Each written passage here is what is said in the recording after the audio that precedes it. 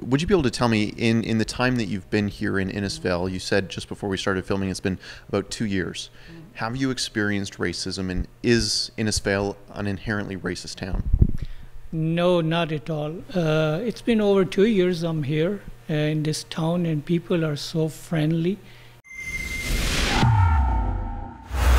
I'm here today in Innisfail, Alberta, because a band of radical Black Lives Matter protesters are planning to come to this small town in rural Alberta to re educate the people of this small town. They think that the people here are inherently racist, and some factions on town council are too scared to say no.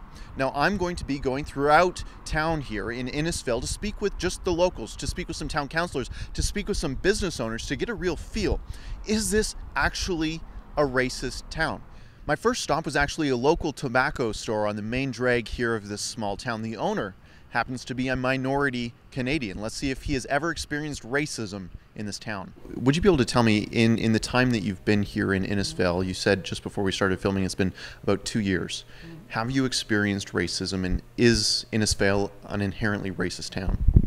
No, not at all. Uh, it's been over two years I'm here uh, in this town, and people are so friendly, and they love to uh, come in this store, and uh, just because of their like uh, you can say love, and uh, I'm staying here. It's been over two years, and my business is quite successful, and I'm quite happy. I I'd never seen any racism in this town, and uh, it's good. After speaking with the owner of that tobacco store, who said himself that he has never once experienced racism in the town of Innisfail, I figured I would go to the town hall, where there actually was a small town hall gathering of folks who were concerned about what was going on on Saturday. Uh, I think that people in Innisfail have been very accepting of people, very welcoming. How does it make you feel that there's a group of people who think you need to be re educated? What would you tell them?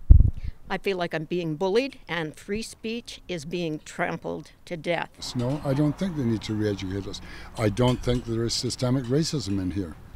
And something that I have a, a real peeve with too is that so many of these protests, the social distancing and the the caution that should be going on, and other groups are forced to uh, abide by, they are not making sure that that happens in these protests. Uh, Innisfail has a lot of seniors, and it's seniors that will suffer for this if we get a big.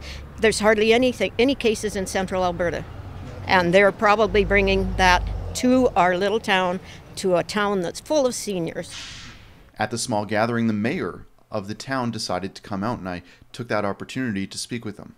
So we want to know what sort of you hope happens on Saturday, what you think the town thinks about what's planning to be uh, to, to, occur on Saturday. What are your thoughts on it?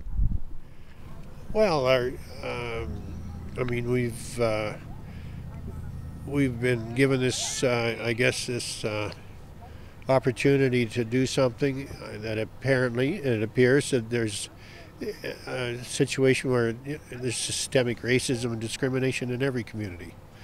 We, we want to address that. Council's in favor of that. If, if you know we're uh, we're not we're not of the feeling that it's blatant or that we're any worse than any other community, but absolutely we're in favor of addressing the the general comment of uh, systemic racism, and we want to absolutely make awareness of that uh, very thing. And uh, if this helps on Saturday, that's what it's all about. It's nothing to do with you know any of the other uh, causes that are going on in North America right now. Uh, we're hoping that it stays friendly and, and, it's, and it's educational for the community. That's what we want.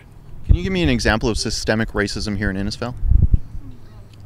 Ra- uh, systemic racism, in my my thoughts. I mean, I've my uh, thoughts have sometimes been misconstrued too, but uh, is it's it's uh, it's it's a, a somewhat a human nature thing that people don't realize what they're what they're saying or doing at the time and how the impact it has on those individuals.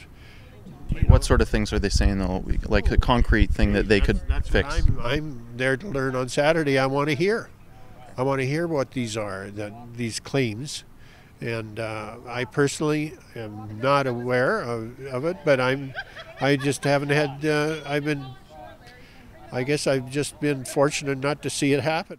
Now, someone that many Rebel viewers might know is Glen Carritt, the organizer of the United We Roll convoy that drove a convoy all the way from Red Deer to Ottawa to Justin Trudeau's doorstep. He happens to be a counselor at this small town. Here's what he had to say.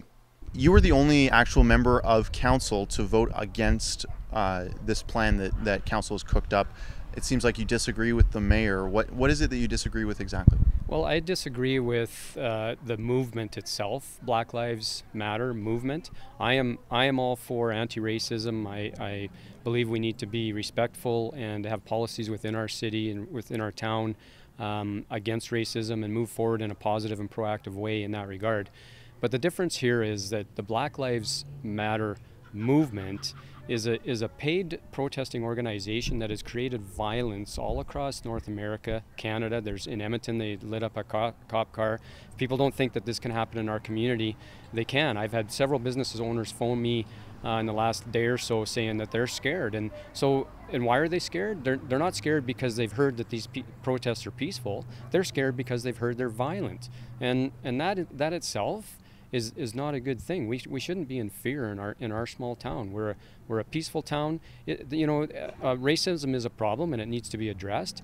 But this movement is not the way to address it and and to instill violence and to and to escalate and have people that are paid protesters to escalate and, and cause problems in a in a rally that should be peaceful is is unacceptable to me and I will stand behind that.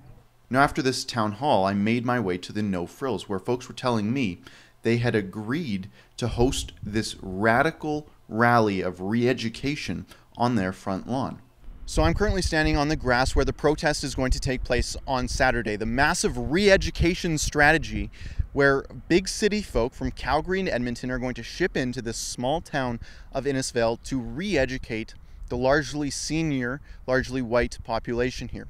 Now, the folks that I've spoken to are concerned for quite a few reasons. They're concerned that they're being branded as racist when that's not the case. They're concerned about the coronavirus. While these Black Lives Matter and Antifa activists in Calgary and Edmonton can risk themselves going to these major protests, they're really concerned that that's going to cause an outbreak here. They've done a good job at maintaining a clean city here, a clean town uh, with very little outbreaks, and uh, they're concerned that that's going to be thrown into jeopardy by selfish people coming in from the city to intimidate the folks here. Now, I'm at the No Frills that is apparently.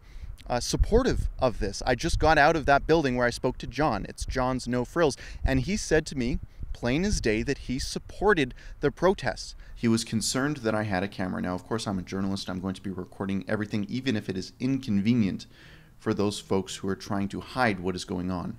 If they're risking the community to virtue signal, well, locals will just go shop at the co op. It might be a little bit more expensive, but at least they support the community. They know who they serve, and it's not the radicals from the big cities. Watch this conversation with John from No Frills. Hey there, uh, John. Hi, I'm Keean. Nice to meet you. Um, we're just doing a story on the uh, rally that's going to happen here on Saturday. Right. Uh, and we're just wondering if we could chat with you about what's your sort of involvement was in it. No, I'm at a no comment time.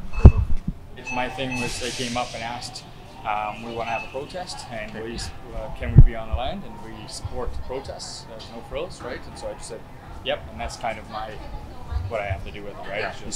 It's You just- sup- Do you think that this sort of the optics of this make it look like you're serving sort of because Antifa is associated with Black Lives Matter? Do you think that it makes it look like No. Frills is supporting this sort of radical group that has I overthrown right? Seattle, I can't get into all that. but you're letting it happen on your property? That's the thing. That's what people here in Innisfail are concerned.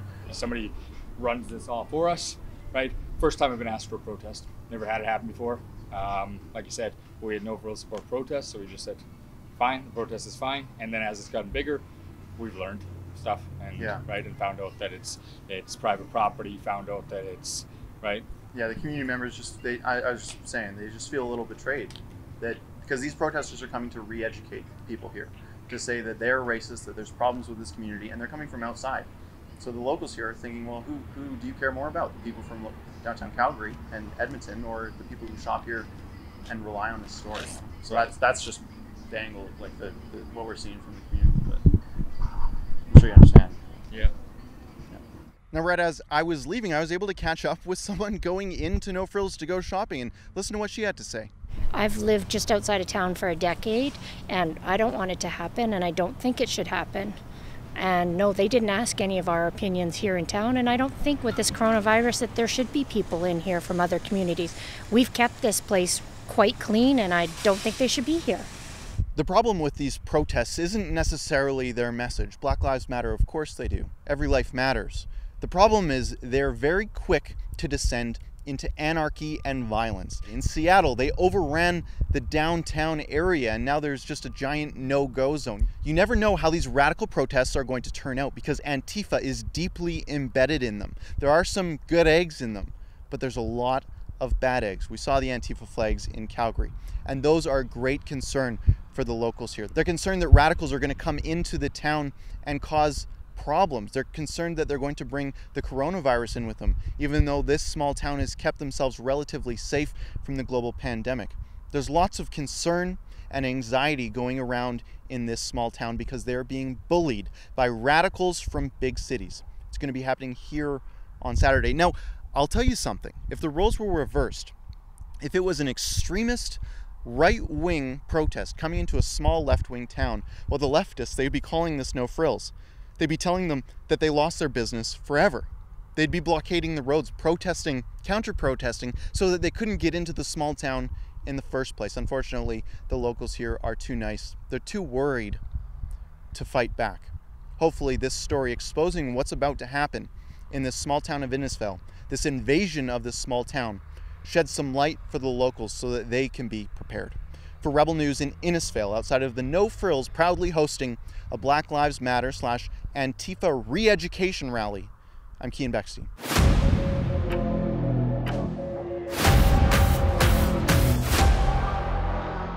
Thanks for tuning into our coverage here at Rebel News. It's important that not only do you like and subscribe to us here on YouTube so you can stay up to date, you ring the notification bell.